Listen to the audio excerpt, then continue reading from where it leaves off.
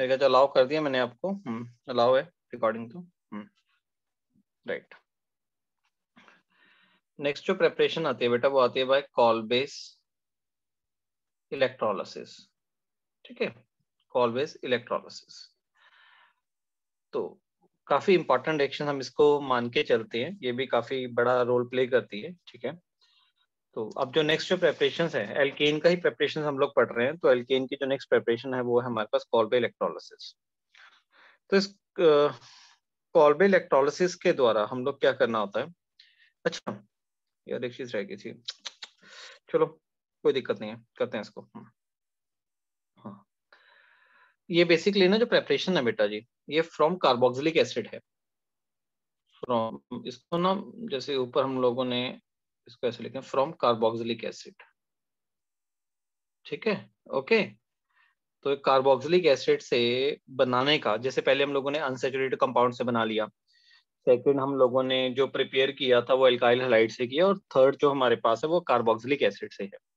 Carboxylic acid में हम लोग क्या कर रहे हैं तो कार्बोक्सिलिक एसिड से बनाने के दो मेथड्स हैं, जिसमें से जो फ़र्स्ट मेथड आता है, वो हमारे पास आता है कॉल्बे इलेक्ट्रोलिसिस तो कॉल्बे इलेक्ट्रोलिसिस में देखते हैं भी होता क्या है? इसमें हम सोडियम और potassium salt of carboxylic acid लेंगे। R C O O N A या फिर तो क्या यूज़ करेंगे यहाँ पे? सोडियम और potassium salt of, sodium and potassium salt of carboxylic acid. ठीक है? कार्बोक्सिलिक एसिड लो, उसको एनएच के साथ रिएक्ट करवा दो, जब, चाहे के के साथ रिएक्ट करवा दो। सोडियम और पोटेशियम सॉल्ट लेना है कार्बोक्सिलिक एसिड का। तो उसमें अगर हम उसका इलेक्ट्रोलिसिस करते हैं, उसमें वाटर डाल देंगे, two H two O water डाल दिया। साथ में क्या करेंगे इलेक्ट्रोलिसिस कैरिड आउट कर देंगे। इलेक्ट्रोलिसिस आपने टेंथ तक सुना होगा। भी इलेक्ट्रिसिटी पास करते हम लोग इलेक्ट्रोलिसिस करेंगे। और जब इलेक्ट्रोलिसिस करेंगे तो हमारे पास प्रोडक्ट्स बन जाएँगे।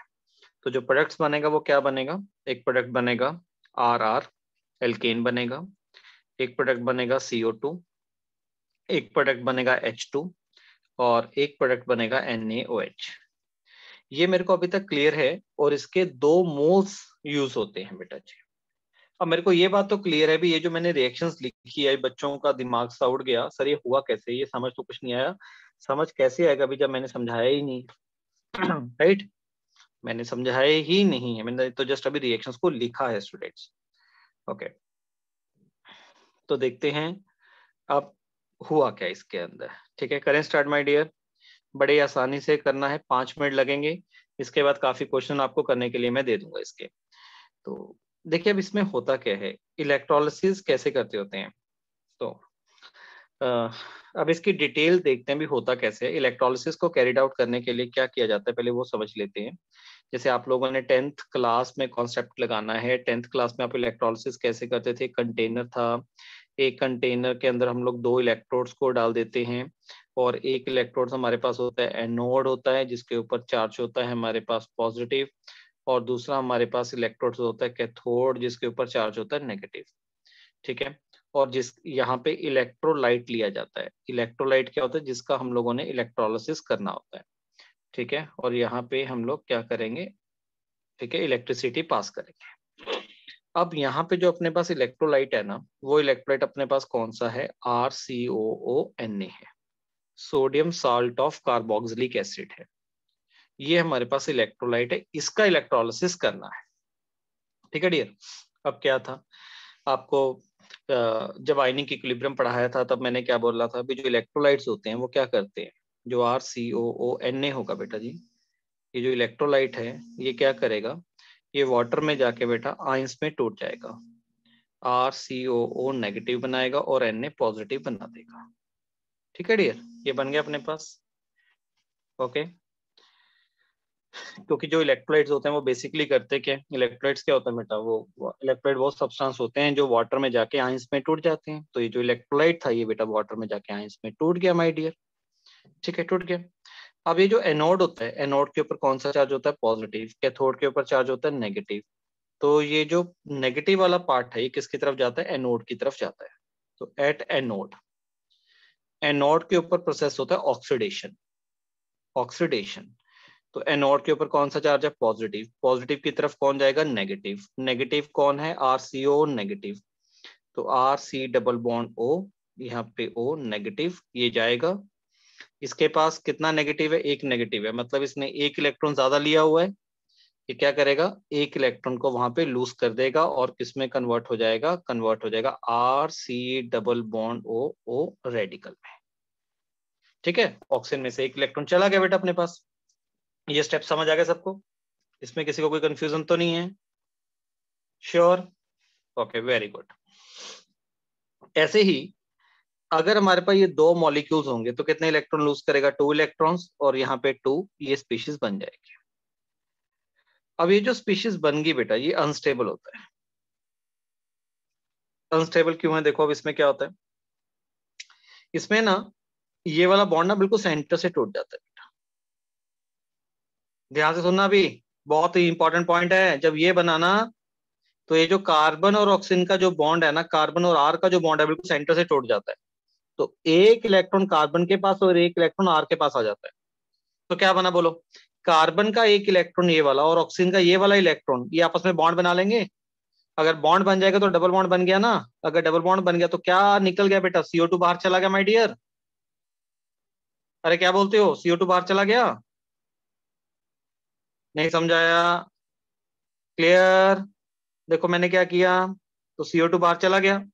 ओके जब सीओ टू बाहर चला गया तो क्या बन गया बेटा? टू आर रेडिकल बन गए। तो टू आर रेडिकल तो अनस्टेबल होता है। अगर अनस्टेबल होता है, इसको स्क्वेयर ब्रैकेट में लिखा जाता है। तो टू आर रेडिकल्स का मतलब क्या हो गया? भी दोनों आर रेडिकल आपस में बॉन्ड बना लेंगे और किसका फॉर्मेशन हो जाएगा? एल्केन का फॉर्मेशन हो जाएगा। बोलिए, बात समझ आई? मैंने क्या किया? सोचो सभी। हाँ या ना एनोड के ऊपर क्लियर है सबको? ओके राइट वेरी गुड हाँ जी तो इसमें बहुत सिंपल सा फिनोमिनन मैंने किया है। भी यहाँ पे आरसीओ नेगेटिव था तो वो एनोड पे गया। एनोड पे उसने अपना एक इलेक्ट्रॉन्स दिया। एक इलेक्ट्रॉन्स दे के बेटा वो न्यूट्रल हो गया अपने पास। क्योंकि ऑक्सीजन के पास खुद के छह इलेक्ट्रॉन्स आ गए। One two three four five and six बेटा, छह इलेक्ट्रॉन्स आ गए। तो जैसे ये are C O O radical बना तो ये क्या हो जाता है? फिर इसके ना ये वाला बॉन्ड टूट जाता है, बिल्कुल सेंटर से बेटा जी। तो अगर बॉन्ड बिल्कुल सेंटर से टूटेगा तो कार्बन के पास एक और इलेक्ट्रॉन आएगा। ये वाले कार्बन के पास एक और इलेक्ट्रॉन आ गया और आर के पास और इलेक्ट्रॉन आ गया। तो कार्बन का जो ऑड इलेक्ट्रॉन है और ऑक्सीजन का ऑड इलेक्ट्रॉन है आपस में मिलकर बॉन्ड बना लेंगे। तो डबल बॉन्ड बन गया तो क्या बन गया? सीओ बन गया। तो ये जो जो टू आर रेडिकल थे, ये टू आर रेडिकल आपस में कंबाइन हो जाएँगे और आपस में कंबाइन होकर आर आर सिंगल बॉन्ड का फॉर्मेशन हमारे पास हो जाएगा। ठीक है? ये था एनोड पे। अब आता है कैथोड पे। भी कैथोड पे क्या होगा? अब देखो एट कैथोड अगर बात करें तो कैथोड पे होगा बेटा रिडक्शन होगा। कैथोड पे क्या होगा? रिडक्शन तो क्या होने वाला देखो? कैथोड पे ये होगा भी जो हमारे पास हाँ देखो आप ऐसा कर सकते हैं, जो वाटर लिया था हम लोगों ने वाटर को तोड़ दो बेटा, किसके अंदर? H positive and O H negative के अंदर। वाटर को तोड़ दो H positive and O H negative में तोड़ दिए ओके राइट है, ठीक है, अब क्या होगा देखो। तो क्या थोड़ कौन सा चार्ज होता है? नेगेटिव चार्ज होता है। नेगेटिव के साथ कौन जाएगा? पॉजिटिव जाएगा। पॉजिटिव कौन? एच पॉजिटिव जाएगा। एच पॉजिटिव एक इलेक्ट्रॉन लेगा, जिसमें कन्वर्ट हो जाएगा एच में। अगर टू एच पॉजिटिव जाएँगे वो टू इलेक्ट्रॉन्स ले लेंगे और किसमें कन्वर्ट हो जाएगा? एच टू में कन्वर्ट हो जाएगा। तो देखो कैथोड पे क्या बन रहा है बेटा? कैथोड पे तो डिपॉजिट हो रहा है एच टू ये कैथोड पे डिपॉजिट हो गया एच टू वापिस स्लाइड पे चलते हैं। एनोड पे क्या हो रहा है? एनोड पे क्या डिपॉजिट हो रहा है? एल्केन बन रहा है आर आर बन रहा है। और साइड प्रोडक्ट कौन सा निकल रहा है? सीओ टू निकल रहा है। ठीक है तो देखो क्या बन गया? आर और आर ऊपर देखो, जहाँ पे हम लोगों ने स्टार्ट किया था, मैं हाईलाइट कर रहा हूँ। इस पे ध्यान दीजिएगा। ठीक है? एक तो आर आर बना, ये समझ आ गया। सीओ टू भी बन चुका है और क्या बन गया? एच टू भी बन चुका है। क्या रह गया? एच कैसे बना होगा? अब इसको सोच रहे हैं हम लोग। कोई सोचने वाली बात ही नहीं बेटा। बड़ा सिंपल तरीका है। क्यों सिंपल तरीका कैसे? वो देखो। आपके पास अभी सोल्यूशंस में क्या प्रेजेंट है? जो अपना मिक्सचर पड़ा हुआ है, उसके अंदर क्या बचा हुआ है? मिक्सचर्स के अंदर हमारे पास अगर इन सोल्यूशंस में बात करूँ तो इन सोल्यूशन हमारे पास, एक तो पॉजिटिव पड़ा हुआ है, वो एन पॉजिटिव है। और क्या पड़ा हुआ है सोल्यूशन के अंदर बेटा जी? ओ OH नेगेटिव है। तो एन पॉजिटिव और ओ OH नेगेटिव अगर ये आपस में कंबाइन करेंगे तो क्या बन जाएगा? हमारे पास एन बन जाएगा। राइट एवरी तो इसका मतलब कौन कौन से प्रोडक्ट्स बने अपने पास? एक तो अपने पास प्रोडक्ट बना एल्केन बना। दूसरा प्रोडक्ट हमारे पास सीओ टू थर्ड हमारे पास एच टू और फोर्थ हमारे पास क्या बन गया? एनएच बन गया। एनएच बनने का मतलब जो पीएच है बेटा सॉल्यूशन का जो पीएच है उसकी वैल्यू क्या कर रही है? इंक्रीज कर रही है, क्यों? क्योंकि सॉल्यूशन क्या सीख हो रहा है। राइट एवरीवन हाँ जी, देखो, अब ये था बेटा कॉल बैक कर दिया। अब इसका डायरेक्ट अप्रोच लगाना है। डायरेक्ट अप्रोच कैसे करना मैं यहाँ पे पाँच मिनट के अंदर पाँच एग्जांपल्स करवा रहा हूँ। मान लो मेरे पास पहला कंपाउंड ये आ गया C S C C O N A आ गया। ये आ गया। सेकेंड कंपाउंड है मेरे पास C S three C H two C O N A आ गया। इसकी कॉलबे इलेक्ट्रोलिसिस करनी के ई एस कॉलबे इलेक्ट्रोलिसिस कॉलबे इलेक्ट्रोलिसिस ठीक है, ये आ गया। थर्ड में क्या करना है? थर्ड के अंदर हम लोगों ने ये ले लिया C H three C H two C H two C O O N A इसकी कॉल इलेक्ट्रोलिसिस करनी है। फोर्थ के अंदर क्या किया? C H two C O O N A single bond C H two C O O N A इसकी Kolbe electrolysis करनी है। ये ऑर्गेनिक को पढ़ने का तरीका होता है, आपके दिमाग में डाल रहा हूँ भी कैसे करना होता है चीज़ों के बारे में। यहाँ पे सी ओ एन ए लगा हुआ है और यहाँ पे सी ओ ओ एन ए लगा हुआ है। मान लो ये मेरे पास पाँच रिएक्शंस थी। अब मैंने इनका कॉलबे इलेक्ट्रोलिसिस के थ्रू फाइनल प्रोडक्ट्स बनाना है, क्या बनेगा? कॉलबे इलेक्ट्रोलिसिस के थ्रू तो क्या करेंगे बोलो? देखो शॉर्टकट ट्रिक क्या था? मैकेनिज्म पे काम करो। ये जो जिसके साथ ये सी ओ एन ए लगा होता है, ये सारे का सारा ग्रुप निकल जाता है और ये जो एल्काइल ग्रुप होता है, इसके ऊपर रेडिकल बन जाता है बेटा अपने पास।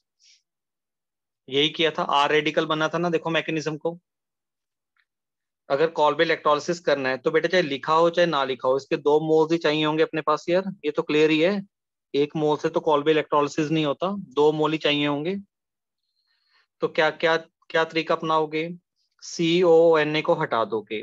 सी ओ एन ए के साथ जो कार्बन है, उसके ऊपर रेडिकल बना दो। बना दिया। दोनों रेडिकल को जोड़ दो। तो क्या प्रोडक्ट बनेगा बेटा? C S three single bond C S three बनेगा। Right right? ऐसे ही ये वाला ग्रुप निकल जाएगा और इसके ऊपर रेडिकल आ जाएगा। तो अगर ऐसे दो मॉलिक्यूल्स को जोड़ दोगे तो ब्यूटेन बन जाएगा। C S three C H two C H two C S three बोलो हाँ या ना ब्यूटेन बन गया। थर्ड वाले केस में ये पूरे का पूरा पार्ट निकल जाएगा। ऐसे दो मॉलिक्यूल्स कंबाइन कर जाएँगे तो हेक्सेन बन जाएगा। अरे हाँ या ना। अब यहाँ पे देखो, ये क्या हो गया? इंट्रा मोलिकुलर होगी। इसमें एक ही मॉलिक्यूल के अंदर दो एसिड वाले ग्रुप प्रेजेंट हैं। तो क्या होगा ये दोनों निकल जाएँगे। यहाँ पे रेडिकल बनेगा, यहाँ पे रेडिकल बनेगा। तो ये दोनों रेडिकल आपस में कंबाइन करके डबल बॉन्ड यहाँ पे एक बॉन्ड बना लेंगे। तो अपने पास क्या बन जाएगा? C H two double bond C H two बन जाएगा। एल्कीन भी बन गया इसके द्वारा, देखो। ठीक है? लास्ट वाली रिएक्शन में क्या करोगे? ये वाले कार्बन के ऊपर रेडिकल आएगा। ये वाले कार्बन के ऊपर रेडिकल आएगा। ये दोनों रेडिकल आपस में बॉन्ड बना लेंगे। तो one two three four five तो फाइव मेंबर क्या बन जाएगी? अपने पास एक साइक्लिक रिंग बन जाएगी। राइट एवरीवन बोले बेटा कॉल भी इलेक्ट्रोलिसिस डन है सबको? सर एक बार सेकंड और थर्ड एग्जांपल समझा दो दोबारा। क्या चीज़? सेकंड और थर्ड एग्जांपल क्या पूछना बेटा इसमें? क्या नहीं पता लगा? सर रेडिकल आ जाएगा उसके बाद सर जो बाद में कंपाउंड बनता है वो नहीं समझ में आ रहा कैसे। बस दोनों दोनों रेडिकल को जोड़ दो ना बेटा। ऐसे दो रेडिकल्स को जोड़ोगे तो यही बनेगा ना बेटा। ठीक है? थोड़ा सा सोचा करो यार ऐसा ना करा करो। सी एस टू रेडिकल है एक ये रहा है बेटा C S two radical single bond C S two radical हो गए ना ठीक है सर हो गया क्लियर ठीक है चलो, ठीक है बेटा जी। तो ये था अपने पास कॉलबे इलेक्ट्रोलिसिस ठीक है? हाँ बनेगा वो तो हर्षित, बनेगा वो तो साइड प्रोडक्ट है ना। मेन प्रोडक्ट हम लोगों ने लिख दिया हाँ जी। अब इसमें लिखो। नोट बना के लिखो एक इंपॉर्टेंट पॉइंट इसके अंदर। नोट लिखो C H four can't prepared इसके द्वारा भी C H four can not be prepared ठीक है ना? ये तो सबको पता ही है। मिनिमम दो कार्बन जुड़ेंगे आपस में, ठीक है? तो इसकी वजह से इसमें, इसकी हेल्प से बेटा सी एच फोर को हम लोग प्रिपेयर नहीं कर सकते। राइट है? तो ये था अपने पास बेटा प्रेपरेशन ऑफ़ प्रेपरेशन हम लोगों ने किए हैं।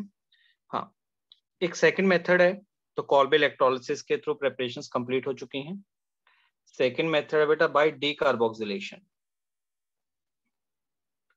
डी कार्बोक्सिलेशन ठीक है? ये कार्बोक्सिलिक एसिड से ही बनाने का तरीका है।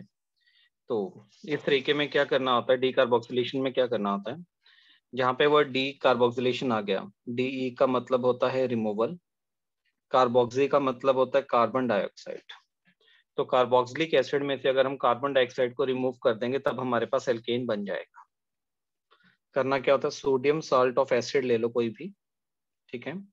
तो जस्ट ये टेंथ वाली रिएक्शन है बेटा, आपको पता होगा। सोडियम सॉल्ट ऑफ़ एसिड हम लोगों ने लिया, ठीक है? उसको रिएक्ट करवाएँगे सोडा लाइम के साथ। What is soda lime? NaOH with calcium oxide इसके प्रेजेंस में हीट करेंगे। और NaOH कैल्शियम ऑक्साइड को कंबाइनली हम लोग बोलते हैं सोडा लाइम ये बन गया सोडा लाइम बन गया, ठीक है? तो ये आपस में कंबाइन करेंगे। तो क्या बनेगा प्रोडक्ट कैसे बनेगा? ये पूरे के पूरे ग्रुप को बाहर निकाल दीजिए बेटा आप लोग। तो क्या निकल गया? देखो कितने सोडियम थे टू सोडियम थे। तो Na2 एक कार्बन था ऑक्सीजन थे थ्री तो Na2CO3 बाहर चला जाएगा, R और H के बीच में बॉन्ड बन जाएगा। तो R और H के बीच में बॉन्ड बनने का मतलब किसका फॉर्मेशन हो गया? एल्केन का फॉर्मेशन हो गया अपने पास। ठीक है? इसको बोलते हैं डियर डीकार्बोक्सिलेशन रिएक्शंस तो जो कार्बन डाइऑक्साइड जो तो जब, जो कार्बोक्सिलिक एसिड का डीकार्बोक्सिलेशन होता है, वो सोडा लाइम की प्रेजेंस में होता है NaOH के साथ किसको यूज़ किया जाता है? कैल्शियम ऑक्साइड को. राइट चलिए वेरी गुड अब नेक्स्ट बात करते हैं केमिकल प्रॉपर्टीज़ के बारे में. केमिकल प्रॉपर्टीज़ ऑफ़ एल्केन ठीक है। ज़रूरत नहीं है बेटा जी हर्षित, बस केमिकल प्रॉपर्टीज़ ऑफ़ एल्केन्स अब हमने एल्केन की केमिकल प्रॉपर्टीज़ के बारे में पढ़ना है।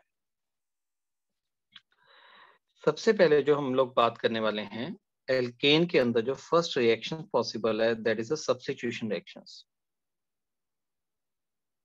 substitution reactions अब ये आते भी सब्स्टिट्यूशन रिएक्शंस होता क्या है? देखो सब्स्टिट्यूशंस का मतलब क्या है? जैसे आप क्रिकेट खेलते हो फुटबॉल देखते हो आपने देखा होगा भी एक प्लेयर अगर आ जाता है एक प्लेयर अगर इंजर्ड हो जाता है वो चला जाता है उसकी जगह तो दूसरा प्लेयर आ जाता है। सब्सिट्यूशन का मतलब होता है रिप्लेसमेंट एक की जगह दूसरे का आना ठीक है? अब मान लो अगर कोई एल्केन है ठीक है? मान लो को, कोई भी एल्केन है मेरे पास मान लो सी एच फोर है। अब सी एच फोर के साथ अगर मैंने ए को रिएक्ट करना है तो मेरे पास ज़रूरी होगा ना क्योंकि एल्केन में तो क्या है बेटा? ऑलरेडी कार्बन के साथ चार बॉन्ड्स बने हुए हैं। अगर ए ने कार्बन के साथ बॉन्ड बनाना है तो डेफिनेटली यहाँ से एच को तो निकलना पड़ेगा बेटा। तो अगर ए ग्रुप लगेगा तो ए को तो बाहर जाना पड़ेगा। तो इसका मतलब क्या है भी एल्केन्स के अंदर सिर्फ़ कौन सी रिएक्शन पॉसिबल है? सब्सिट्यूशन पॉसिबल है। तो मैं यहाँ पे लिख रहा हूँ alkane undergoes alkane undergoes free radical substitution reactions free radical substitution reactions alkane के अंदर सब्सिट्यूशन रिएक्शंस पॉसिबल है, पर वो जो सब्सिट्यूशन रिएक्शन है, वो हमारे पास फ्री रेडिकल इंटरमीडिएट के थ्रू होती है। Okay okay? अब देखिए कैसे होती है, देखते हैं। तो सब्सिट्यूशन के अंदर सब्सिट्यूशन के अंदर ही बेटा हम लोग स्टडी कर रहे हैं। तो फ़र्स्ट जो सब्सिट्यूशन आती है, वो हमारे पास आती है हेलोजिनेशन जो फ़र्स्ट सब्सिट्यूशन है दैट इज़ कॉल्ड हेलोजिनेशन ठीक है? हेलोजिनेशन में होता है reactions with halogen reaction with halogen okay देखो हेलोजिनेशन में होता क्या है? आपने मान लो कोई भी एल्केन ले लिया। हम लोग क्या करते हैं? एल्केन लिया। एल्केन की रिएक्शन मान लो मैं Cl2 के साथ करवा रहा हूँ। तो ये मेरे पास क्या बन गया? क्लोरिनेशन बन गया ना। अगर Cl2 के साथ कराऊँगा तो क्लोरिनेशन होगा ब्रोमीन के साथ कराऊँगा तो ब्रोमिनेशन होगा, करवाना किसी भी हेलोजन के साथ। तो मैंने यहाँ पे मिथेन लिया, उसको Cl2 से रिएक्ट करवा दिया in the presence of H nu H nu का मतलब है सनलाइट फोटोन की प्रेजेंस में बेटा जी। किसकी प्रेजेंस में? फोटोन की प्रेजेंस में। ठीक है? राइट ओके अब मान लो अगर मेरे पास क्लोरिनेशन एक्सेस में है, किसमें है? एक्सेस में, बहुत ज़्यादा अमाउंट में पड़ा हुआ है तो क्या होगा? सोच के देखो। ये जो सी एच फोर जब सी टू से कंबाइन करेगा तो HCl बाहर निकल जाएगा और हमारे पास क्या बन जाएगा? CH3Cl बन जाएगा। ये बन गया CH3Cl सब्सिट्यूशन हो गया ना बेटा? H निकल के Cl लग गया अपने पास यार। क्योंकि हमें पता है एल्केन के अंदर कौन सी रिएक्शंस होती हैं? एल्केन के अंदर जो पॉसिबल है वो हमारे पास सब्सिट्यूशन रिएक्शंस हो रही है। तो क्या हो रहा है? uh, कौन सब्सिट्यूट कर रहा है? जो Cl है वो सब्सिट्यूट कर रहा है H को। मतलब H निकल रहा है उसकी जगह पे Cl वाला ग्रुप लग रहा है अपने पास। राइट क्लियर है? ऐसे बेटा जी अब ये बन गया। अब ये जो बना, अगर सी एल टू एक्सेस में है तो ये जो पहले वाला प्रोडक्ट बना, अगर ये दोबारा सी एल टू से कंबाइन करेगा in the presence of sunlight अब क्या पॉसिबिलिटी है इसमें से दोबारा से H निकल जाए? तो क्या प्रोडक्ट बन जाएगा बेटा? CH2 Cl2 बन जाएगा। CH2 Cl2 बन जाएगा। अब ये जो CH2 Cl2 है, अगर ये दोबारा सी एल टू से कंबाइन करे in the presence of sunlight तो क्या हो जाएगा? अगर इसमें से दोबारा से बेटा HCl निकल सकता है।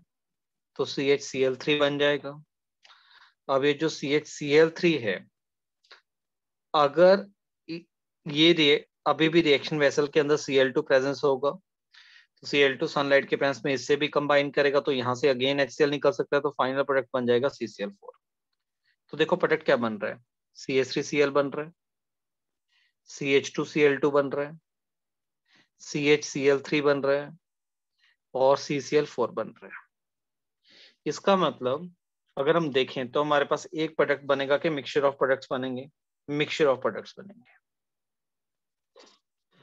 क्लियर बेटा जी? ये बताओ, ये चीज़ समझ आई? Mixture of products obtain mixture of products obtained right here? Okay? Very good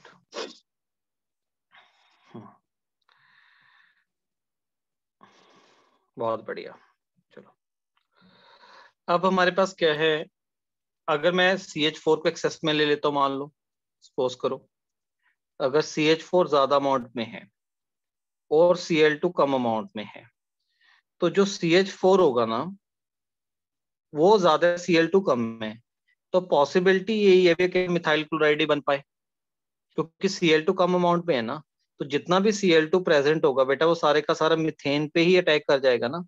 तो अगर मिथेन पे अटैक करेगा तो जो मिथेन है, वहाँ से एच निकल के सी एल लग जाएगा और जो मिथाइल क्लोराइड है वही हमारे पास अकेला मेजर प्रोडक्ट बन जाएगा। क्या बोलते हो? क्लियर हुई ये बात? अगर सी एल टू एक्सेस में होगा, फिर क्या दिक्कत है? एक प्रोडक्ट बना, वो आगे फर्दर सी एल टू से कंबाइन कर सकता है। जो सेकंड बना, वो आगे फर्दर सी एल टू से कंबाइन कर सकता है। तो वो अनकंट्रोल्ड रिएक्शन हमारे पास हो जाती है। ठीक है? ओके अब आती है यहाँ पे रिएक्टिविटी ऑफ़ हेलोजेंस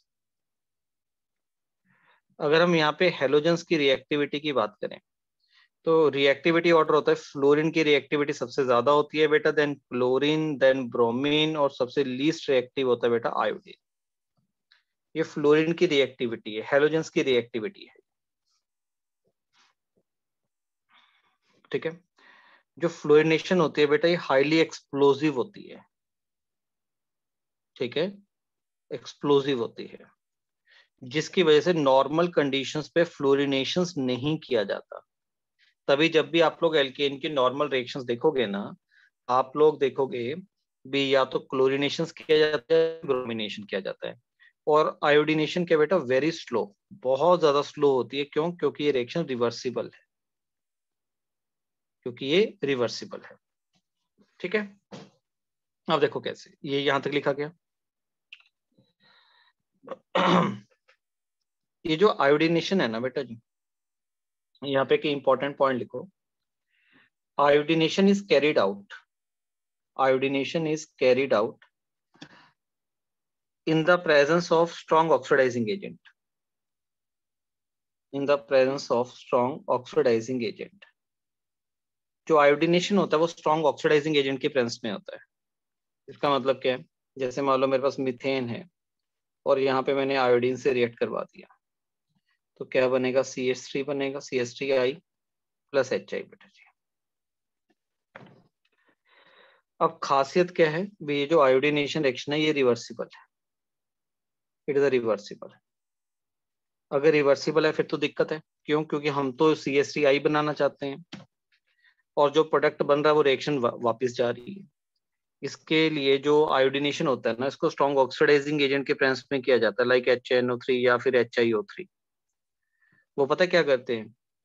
ये जो स्ट्रॉन्ग ऑक्सीडाइजिंग एजेंट है, जैसे मान लो एच एन ओ थ्री है, ये क्यों यूज़ करते हैं? हम लोग यहाँ पे एच एन ओ थ्री को यूज़ करेंगे या फिर एच आई ओ थ्री को यूज़ करेंगे।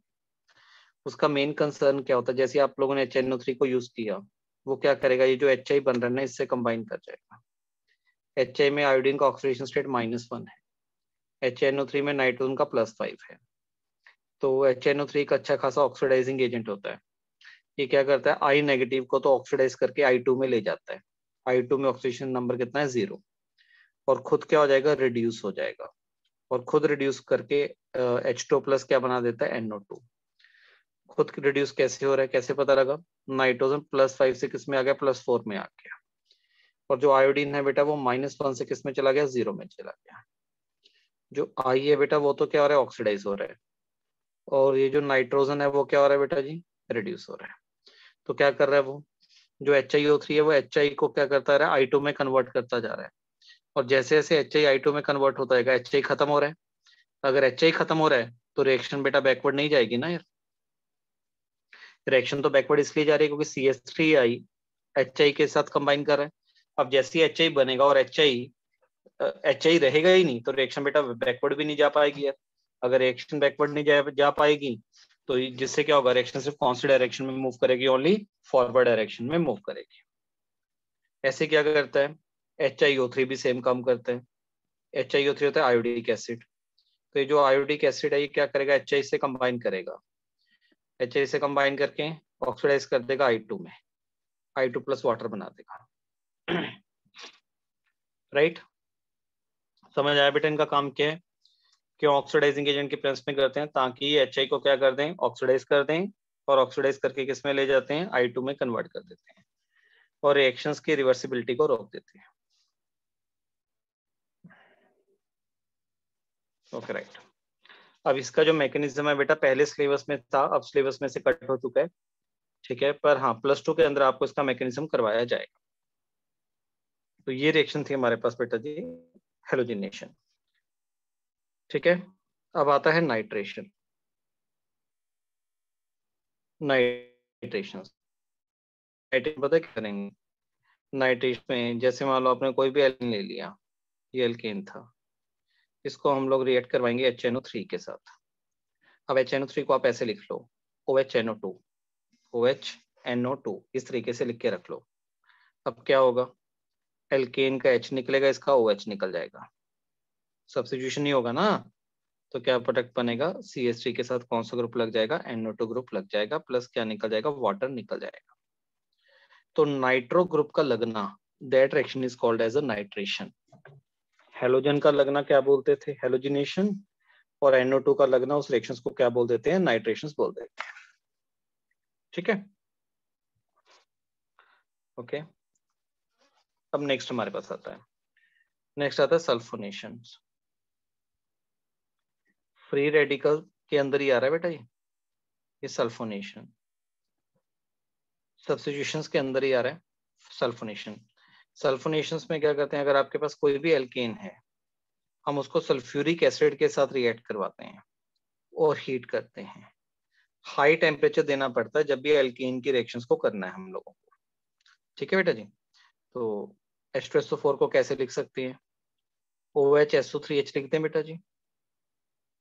O H S three H अब यहाँ से क्या निकलेगा एच यहाँ से निकल जाएगा ओ एच तो वाटर निकल गया माई डियर तो क्या बन गया? C H three SO three H लग गया। तो बन गए methane sulphonic acid methyl sulphonic acid right तो जब आप H2SO4 से रिएक्ट करते हो तो उस रिएक्शन को क्या बोला जाता है? सल्फोनेशन बोलते हैं। तो ये थे हमारे पास सब्सिट्यूशन रिएक्शन तो सब्सिट्यूशन के अंदर हम लोगों ने कौन कौन सी स्टडी की? एक तो हम लोगों ने स्टडी किया हेलोजिनेशन सेकेंड हम लोगों ने स्टडी किया नाइट्रेशन और थर्ड हम लोगों ने स्टडी किया सल्फोनेशन और ये जो तीनों रिएक्शंस हैं स्टूडेंट्स ये फ्री रेडिकल मैकेनिज्म के थ्रू होती हैं। ठीक है? फ्री रेडिकल के थ्रू चलो तो सब्सिट्यूशंस तो कंप्लीट हो गई। अब सेकंड रिएक्शन आती हैं। सेकंड टाइप ऑफ़ रिएक्शन जो एल्केन के अंदर पॉसिबल है, बेटा जी, वो है हमारे पास सेकंड टाइप ऑफ़ रिएक्शन जो पॉसिबल होंगी, वो रिएक्शन है हमारे पास कंबशन रिएक्शन से कंबशन रिएक्शंस कंबशन रिएक्शंस में क्या करना है अपन ने? कोई भी हाइड्रोकार्बन आ जाए मान लो कोई भी एल्केन है, उसको अगर हम लोग O2 की प्रेजेंस में हीट करेंगे कंबशन का मतलब होता है जलाना। दुनिया का जो मर्ज़ी हाइड्रोकार्बन आ जाए, अगर आप उसको ऑक्सीजन की प्रेजेंस में बर्न करोगे, तब हमारे पास जो फाइनल प्रोडक्ट बनेगा, हमेशा जो प्रोडक्ट बनेगा, वो बनेगा सीओ टू प्लस वाटर बनेगा मतलब किसी भी अल्केन की कंबशन से जो प्रोडक्ट बनता है, वो क्या बनता है अपने पास? सीओ टू प्लस वाटर जैसे मान लो मिथेन है अपने पास, ठीक है? सी एच फोर लिया, इसको ओ टू की प्रेजेंस में कंबशन कर दी तो क्या बनेगा? सीओ टू प्लस वाटर बनेगा। बैलेंस कर सकते हो इसको। अगर बैलेंस करने बैठेंगे तो तो इसके आगे टू आ जाएगा और इसके आगे भी टू आ जाएगा। ये इक्वेशंस क्या होगी? बैलेंस्ड होगी अपने पास। ठीक है? तो अगर मेरे पास मान लो सी फोर एच टेन है, ये भी एल्केन है, इसको O2 के प्रेजेंस में हीट करूँगा तो क्या बनेगा? CO2 प्लस वाटर बनेगा। मतलब जो मर्ज़ी एल्केन आ जाए, उसके कंबेशन से CO2 प्लस वाटर ही बनना होता है। अब बैलेंस करो यार। कैसे करोगे? इस तरफ़ फोर कार्बन है, इस तरफ़ फोर कार्बन हाइड्रोजन टेन है तो यहाँ पे फाइव ऑक्सीजन कितने हो गए? राइट हैंड साइड पे ऑक्सीजन काउंट करो कितने हो गए? Four into two eight eight plus five कितने हो गए? थर्टीन हो गए। तो यहाँ पे कितने लेफ़्ट साइड पे टू हैं। तो इसको कैसे मल्टीप्लाई कर दो? थर्टीन बाई टू से मल्टीप्लाई कर दो। ठीक है? अगर इनकी जनरल रिएक्शंस लिखें बेटा जी। जनरल रिएक्शंस लिखें। एल्केन की कंबशंस की। तो जनरल रिएक्शंस क्या लिखा जाएगा? एल्केन का जनरल फॉर्मूला क्या होता है? C N H two N plus two होता है। ये एल्केन का जनरल फॉर्मूला हो गया। प्लस कितने ऑक्सीजन चाहिए होंगे? Three N minus one by two. Three N minus, three N plus one by two, इतने ओ टू चाहिए होंगे। और अपने पास जो फाइनल प्रोडक्ट बनेगा, वो बनेगा N mole of CO two plus क्या बनेगा? एन प्लस वन मोल हमारे पास बन जाएँगे एच टू ओ के ये बेटा जनरल जनरल रिएक्शन आ गई एल्केन की। ठीक है? एल्केन की ये जनरल रिएक्शन है। इसको सॉल्व करके देख सकते हो आप लोग। कोई दिक्कत ही नहीं बेटा जी। आप देखो इसको। अगर आप मान लो फॉर एग्जांपल यहाँ पे एन की वैल्यू को, आप यहाँ पे एन की वैल्यू को ना वन पुट करके देख लो तो क्या बनेगा देखो? अगर एन की वैल्यू वन पुट करोगे तो लिखा जाएगा सी एच फोर लिखा गया। ठीक है? तो कितना आ गया? Two O two two O two N की वैल्यू वन पुट कर दो। यहाँ पे क्या बनेगा? C O two plus two H two O देखो, लिखी गई ना बेटा इक्वेशन बैलेंस्ड है? बताओ यार, ये बात क्लियर है या नहीं है जो मैं आपको बता रहा हूँ? ये जनरल रिएक्शन है। जनरल रिएक्शन बैलेंस्ड कैसी होगी हमारे पास? एन की टर्म में बेटा जी। ठीक है हाँ?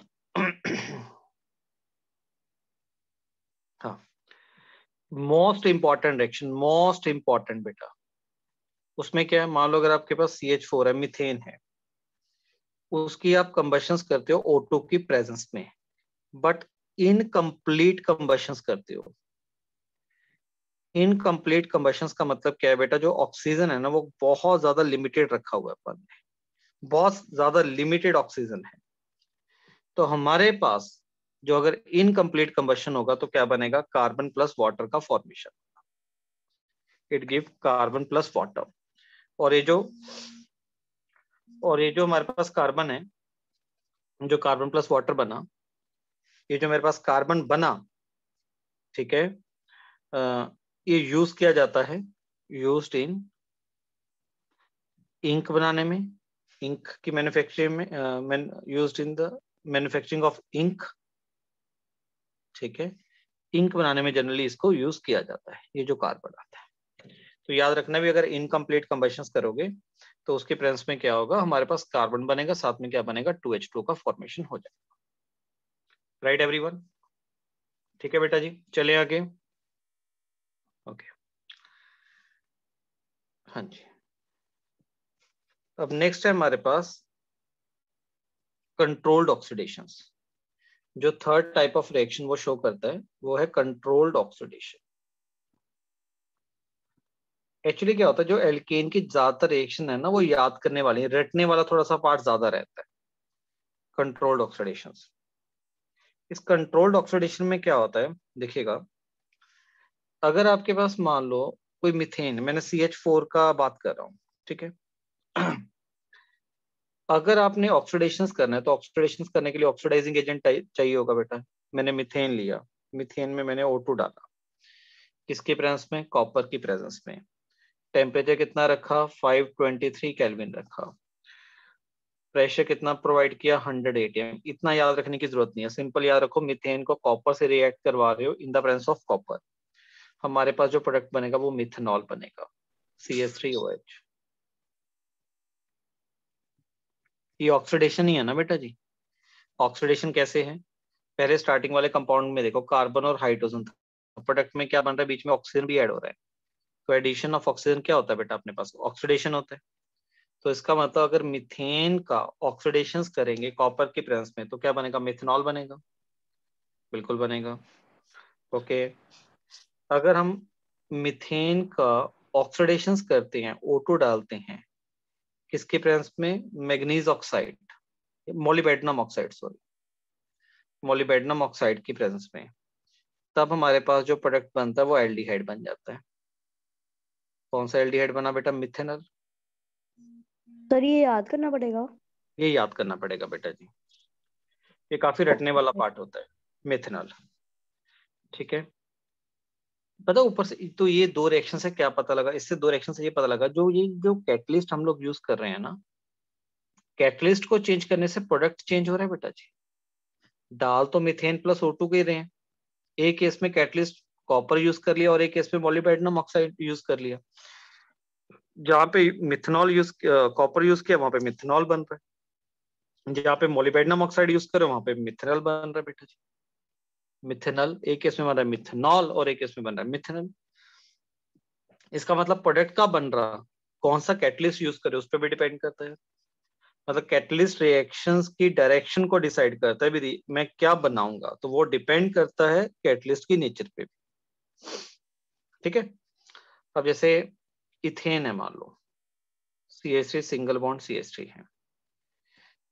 इसका ऑक्सीडेशन करवा रहे हैं मैग्नीज एसिटेट की प्रेजेंस में। इसका नाम क्या होता है बेटा? मैंगानीज एसिटेट ठीक है? ओटो डाला, इथेन में ओटो डाला, मैं बैलेंस नहीं कर रहा मैग्नीज एसिटेट के प्रेजेंस में किया। तो इससे बेटा अपने पास क्या हुआ? जो एक सी वाला ग्रुप था ना, ये ऑक्सीडाइज हो गया और ऑक्सीडाइज होकर ये कार्बोक्सिलिक एसिड में कन्वर्ट हो गया। क्लियर हाँ जी अब जो रिएक्शंस लिख रहा हूँ, ये मोस्ट इंपॉर्टेंट रिएक्शन है कॉम्पिटेटिव एग्ज़ाम्स के पॉइंट ऑफ़ व्यू से, बेटा जी। ठीक है? बहुत ज़्यादा इंपॉर्टेंट रिएक्शन है। इस रिएक्शंस में क्या होता है? ये होता है भी, अगर हमारे पास मान लो कोई एल्केन है, कोई भी एल्केन है जनरली कोई एल्केन है, मैं ऐसे लिखता हूँ इसको। भी इस पे जनरली क्या होता है? अगर हमारे पास कोई भी एल्केन है, उसमें अगर हम लोग के को डाल देंगे ना, बेटा जी तो नो रिएक्शन हो। मतलब के एम एन एफ़ और इतना स्ट्रॉन्ग ऑक्सीडाइजिंग एजेंट नहीं है वो एल्केन को ऑक्सीडाइज कर पाए। मतलब एल्केन को ऑक्सीडाइज नहीं कर पाता। कौन नहीं कर पाता? के एम एन फोर नहीं कर पाता। पर इसका एक एक्सेप्शन है। देर इज़ वन एक्सेप्शन एक एल्केन ऐसा है जो, जिसको के एम एन फोर ऑक्सीडाइज कर देता है। वो एल्केन कौन सा है? Alkene with three degree hydrogen कोई ऐसा एल्केन ले लो जिसके पास थ्री डिग्री हाइड्रोजन है। ये थ्री डिग्री हाइड्रोजन है ना बेटा जी? Alkane with three degree hydrogen अगर कोई ऐसा एल्केन है जिसके पास थ्री डिग्री हाइड्रोजन है, उसमें अगर आप लोग के एम एन ओ फोर को डाल दे तो डाल दोगे तो वो वाला जो एच है माई डियर वो निकल के ओ OH में कन्वर्ट हो जाएगा। वो एल्कोहल में कन्वर्ट हो जाएगा। इसकी एक ही एक्सेप्शन है। ये एक्सेप्शन है इसके। ठीक है? मतलब जो एल्केन विथ लिख लो अपनी कॉपी पे जो alkane with three degree hydrogen है वो केएमएनओ की केएमएनओ फोर की प्रेस में जो पोटेशियम पर मैग्नेट होता है जो हम लोगों ने पढ़ा था रिडॉक्स रिएक्शंस के अंदर उसके प्रेस में ऑक्सीडाइज होकर वो अल्कोहल में कन्वर्ट हो जाता है। राइट एक्सक्यूज तो काफ़ी इंपॉर्टेंट यस बेटा बोलिए। सर मैग्नीज ऑक्टेट वाली डायरेक्ट रिएक्शन एक बार दोबारा समझा दो। कौन सी वाली? Manganese octet. ऑक्टेट एसिटेट बेटा जी।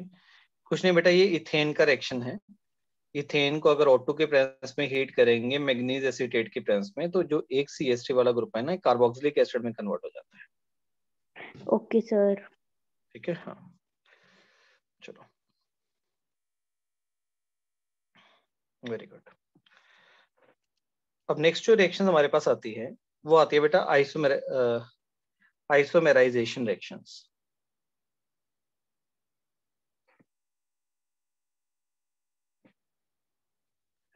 अब आइसोमराइजेशन रिएक्शन ये तो बेटा लर्निंग रिएक्शन है, वो टोटली याद ही करना है। इसमें क्या होता है?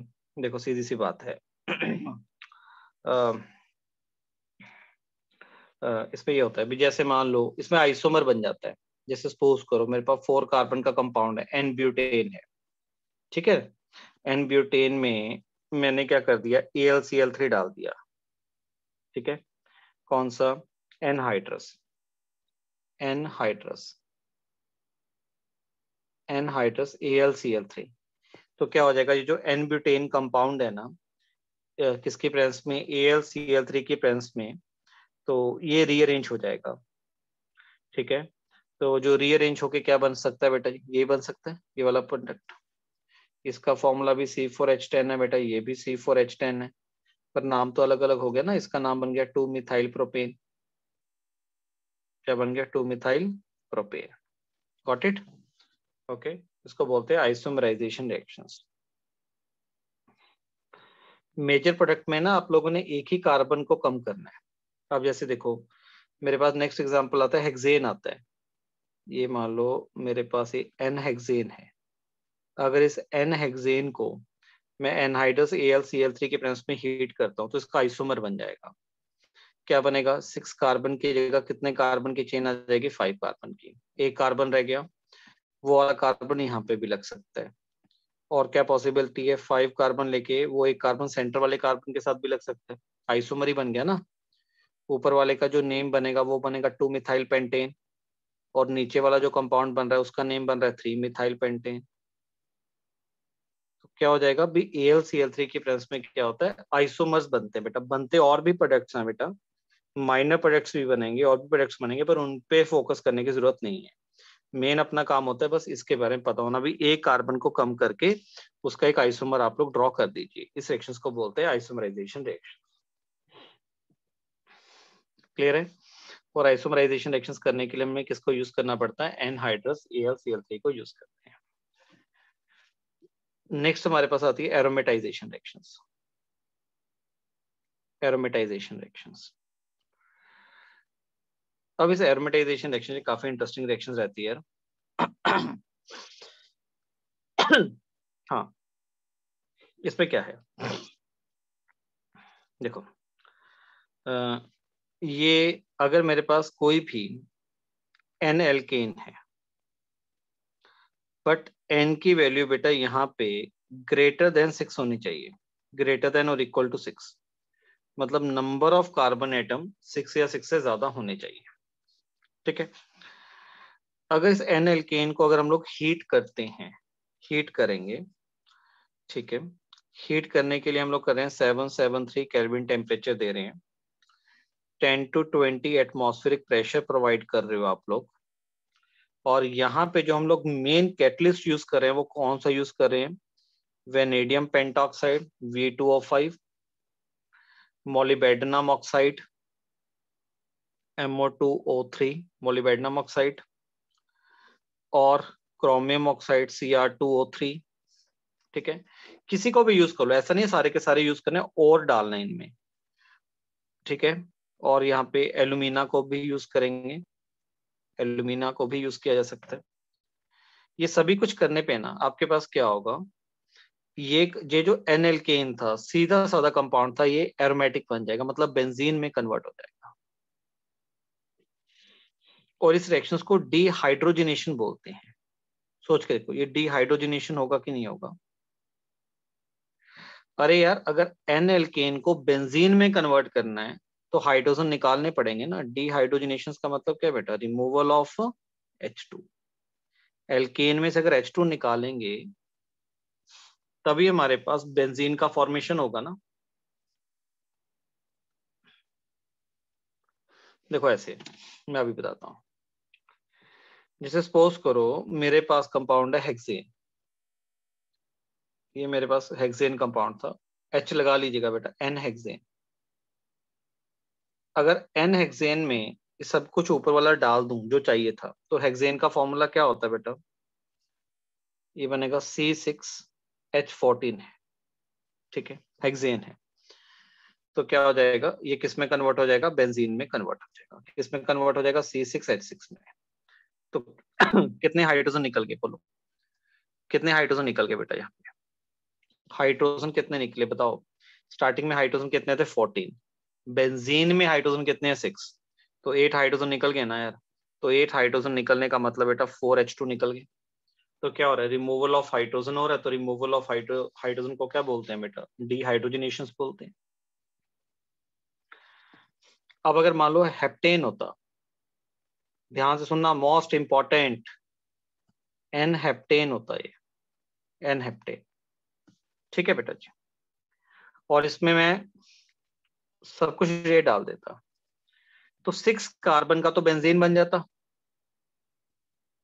सिक्स कार्बन का तो बेंजीन बन जाता। एक कार्बन रह गया तो वो एक कार्बन इसमें कन्वर्ट हो जाता सी एस टी में। तो क्या बन जाता? मिथाइल बेंजीन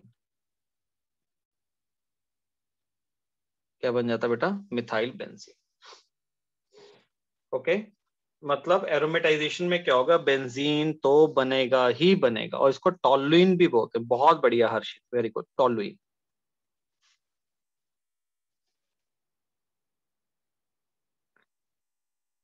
ठीक है? तो जितना मर्ज़ी ले लो। बनेगा बेंजीन बनेगा, बाकी बेटा क्या बन जाएँगे? साइड में निकल जाएँगे। बाकी साइड चेन बना लेंगे इसके। ओके राइट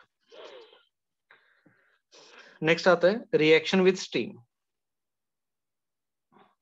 aromatisation done है रिएक्शन विद स्टीम स्टीम के साथ रिएक्शंस को देखना है। किसके साथ? स्टीम के साथ। तो क्या होता है? मिथेन लिया, बहुत सिंपल सी रिएक्शन है। वाटर डाला वाटर मतलब स्टीम से रिएक्ट करवाया। किसके प्रेजेंस में? निकल के प्रेजेंस में और हीट कर दिया। वाटर मतलब यहाँ पे किसको यूज़ कर रहे हैं? स्टीम को यूज़ कर रहे हैं।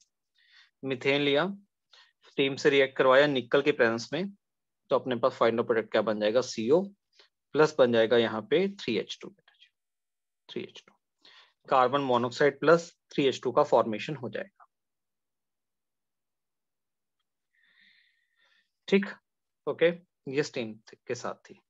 लास्ट रिएक्शन है बेटा जी। पायरोलाइसिस रिएक्शंस पायरोलाइसिस रिएक्शंस ये भी इंपॉर्टेंट है। एरोमेटाइजेशन भी इंपॉर्टेंट था और पायरोलाइसिस भी इंपॉर्टेंट है। ये रिएक्शन रिपीट नहीं होंगे बेटा प्लस टू के अंदर। जैसे एरोमेटाइजेशन है पायरोलाइसिस है, ये रिपीट नहीं होगी। देखो पायरोलाइसिस में पता है क्या करना होता है? पायरोलाइसिस या फिर इसको बोलते हैं क्रैकिंग पायरोलाइसिस और क्रैकिंग इस रिएक्शंस के अंदर क्या होता है? अगर आपके पास कोई एल्केन है सपोज़ करो मेरे पास सी सिक्स एच फोर्टीन है बेटा जी। ये हेक्सेन कंपाउंड है। मैंने इस हेक्सेन कंपाउंड को हीट कर दिया। सेवन सेवन थ्री कैलविन, बहुत हाई टेम्परेचर पे हीट कर दिया। तो ये जो हायर एल्केन है ना, वो लोअर एल्केन में कन्वर्ट हो जाएगा, टूट जाएगा। तो टूट के क्या बना सकता है बेटा जी? हो सकता है इसमें से एक एच टू बाहर निकल जाए तो सी सिक्स एच ट्वेल्व बन जाएगा। सी सिक्स एच ट्वेल्व का मतलब हेक्जीन बन गया बेटा जी हेक्सेन बन गया। और क्या पॉसिबिलिटी है? ठीक है, एक तो ये बन सकता है। और क्या बन सकता है? मान लो एक बन गया सी फोर एच एट बन गया और एक बन गया बेटा सी टू एच सिक्स बन गया। तो एक कंपाउंड तो बन गया ब्यूटीन ब्यूटीन और एक कंपाउंड क्या बन गया? इथेन कुछ भी बन सकता है, कुछ भी, क्योंकि आपने हेक्सेन लिया, उसको आप लोगों ने हीट कर दिया तो हेक्सेन टूट गया। तो टूटने पे जो जो कंपाउंड बन सकते हैं, वो बना दीजिए बेटा जी। और यहाँ पे क्या बन सकता है? C two H six ethane बन सकता है सी टू एच फोर एक प्रोडक्ट ये सी थ्री एच सिक्स ये बन सकता है, और साथ में क्या बन सकता है? सी एच फोर भी बन सकता है। मतलब अनएक्सपेक्टेड प्रोडक्ट्स मतलब जितने भी आपके पास, जितने भी आपके पास प्रोडक्ट की बनने की पॉसिबिलिटी होगी, सारे के सारे प्रोडक्ट बन सकते हैं। इस पायरोलाइसिस को ऐसे समझिए बेटा जी। पायरोलाइसिस को समझने का तरीका क्या आपने कंटेनर लिया है। उस कंटेनर के अंदर आपने सी सिक्स एच फोर्टीन को डाल रखा है। उसको आप हीट कर रहे हैं। और हीट करने से सी सिक्स एच फोर्टीन क्या टूट रहा है। क्या हो रहा है? टूट रहा है। और टूट गया अलग अलग हो गए, फिर वो जुड़ रहे हैं आपस में। तो जुड़ के कोई भी प्रोडक्ट बना सकता है जो पॉसिबल है बेटा अपने पास। तो आपके सामने अभी जो एन हेक्सेन है ना बेटा हेक्सेन है, वो देखो जब उसका पायरोलाइसिस हो रहा है तो डिफरेंट डिफरेंट प्रोडक्ट की पॉसिबिलिटी अपने को दिखाई दे रही है। और इसको नोट डाउन करना है फ्रॉम एनसीआरटी बेटा। जी नोट डाउन फ्रॉम एनसीआरटी तो एनसीआरटी से इस पर्टिकुलर रिएक्शंस को आप लोगों ने डेफिनेटली नोट डाउन करना है, क्योंकि उसके अंदर कुछ थोरेटिकल इंफॉर्मेशन गिवन है जो कि मोस्ट इंपॉर्टेंट इंफॉर्मेशन है डियर ओके तो उसको आप लोगों ने अपने कॉपी पे नोट डाउन करेंगे बेटा जी। ठीक है? वो जो पैराग्राफ दिया हुआ है पायरोलाइसिस के अंदर, उसको आप लोगों ने अपनी कॉपी पे नोट डाउन करना है। तो बताइए क्लियर बेटा यहाँ तक सबको? क्या कहते हो, डन?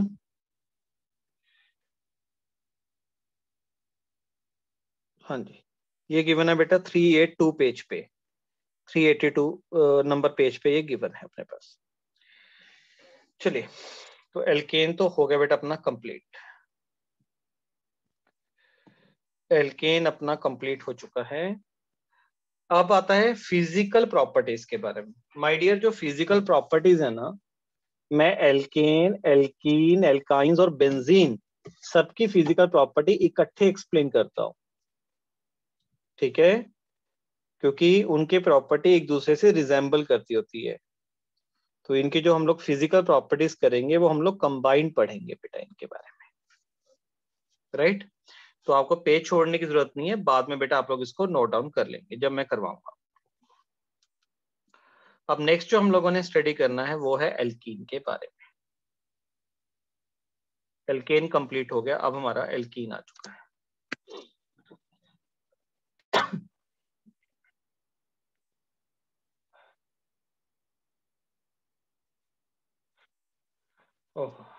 एक्चुअली थक गए बेटा जी। पेन एक्चुअली गले में ना बहुत ज़्यादा तो बोलना मुश्किल लगता है। अपन लोग अब एल्कीन पे पहुँच चुके हैं। तो एल्कीन की क्लास आज इवनिंग में रख लू बेटा? इवनिंग में लगा लें क्लास नहीं नंदन, कल नहीं। मतलब ये जो टाइम है, ठीक है, जैसे अभी अपने पास, ये मान के चलो, अभी अपने पास ट्वेंटी फाइव मिनट्स पड़े हैं अपने पास, ठीक है ना? तो उस ट्वेंटी फाइव मिनट वाली क्लास को मैं इवनिंग में लगाता हूँ तो हाँ बस बेटा इतना ही करना है।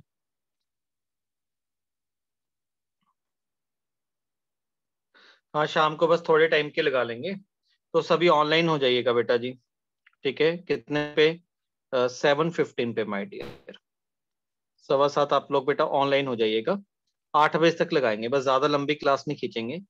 सेवन फिफ्टीन टू एट बेटा जी, बस। इससे ज़्यादा नहीं। मैं आपको मैसेज कर दूँगा। अगर मेरा मैसेज आ गया अभी क्लास है फिर तो क्लास लगा लेंगे। अदरवाइज़ चलो आज ऐसा करो। आ, आ, हाँ अगर मेरा मैसेज आ गया फिर तो क्लास मैं बोल दूँगा बेटा क्लास लिख के मैं मैसेज डाल दूँगा। अगर मेरा मैसेज आ गया फिर तो आप लोग क्लास ऑनलाइन हो जाइएगा। अगर नहीं आए इसका मतलब फिर इवनिंग वाली क्लास नहीं होगी अपनी। ठीक है? ओके स्टूडेंट्स राइट चलिए बेटा, इतना इसको पढ़ ले पढ़ ले आप लोग अच्छे तरीके से, ठीक है? अपना कंप्लीट कर ले बेटा आप लोग। ओके डियर जी।